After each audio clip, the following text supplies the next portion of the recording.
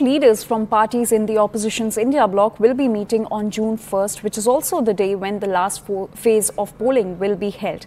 Now, the meeting has been called to review the elections and also discuss the further course of strategy of the India bloc. But West Bengal Chief Minister Mamta Banerjee has said that she will not be attending the India bloc meeting on June 1st. Now, she has said that she won't be able to attend because of the elections uh, which are there in Kolkata and in West Bengal on June 1st and also due to the ongoing relief work in the state after Cyclone Remal.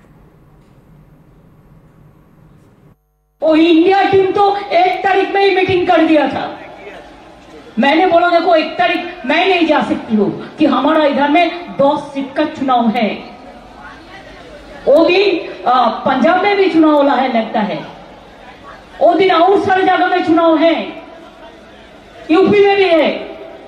चारों UP तो उसका state है, लेकिन अखिलेश तो है।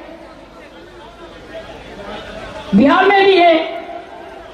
और चुनाव चलते हैं, छह बजे तक जो लाइन में खड़ा होता है, उसका वोट खत्म होना रात दस बज जाता है। तो हम कैसे छोड़ के चले जाएगा?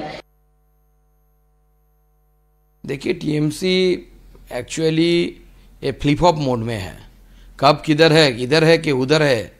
बाएँ तरफ़ है कि दाएँ तरफ़ है और किसी की तरफ़ नहीं है कोई पत, किसी को पता नहीं कांग्रेस ही बास लगा के बैठे हुए हैं कि कांग्रेस इस दिलासे से बैठे हुए है कि ममता बनर्जी का प्यार मिलेगा उनको। लेकिन प्यार तो नहीं मिल रहा है। छह फेजेस की जो वोटिंग हुई है उसको देखते हुए अब जैसे राहुल गांधी जी मंच पर चढ़े और मंच जो है वो टूट गया। ऐसे लगता है कि चार जून आते आते इंडी अलायंस भी टूटने की तैयारी में है, क्योंकि ममता बनर्जी जी ने कह दिया है, जो पहले कह रही थी आउटसाइड सपोर्ट देंगे।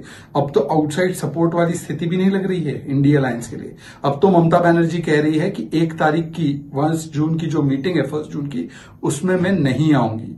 और फिर वो कहती है कि कांग्रेस पार्टी के लोग, कांग्रेस पार्टी जो है, वो तो किसी और से पैसा लेकर मेरे खिलाफ कैंपेनिंग कर रहे हैं। ये कैसा अलायंस है? मंच भी टूटते जा रहा है और अलायंस भी जिस प्रकार से टूटते जा रहा है। मतलब कि जो लोग पाँचवें और छठे फ़ेज़ में दोस्त थे, वो सातवां फ़ेज़ आते आते दुश्मनी कर बैठे।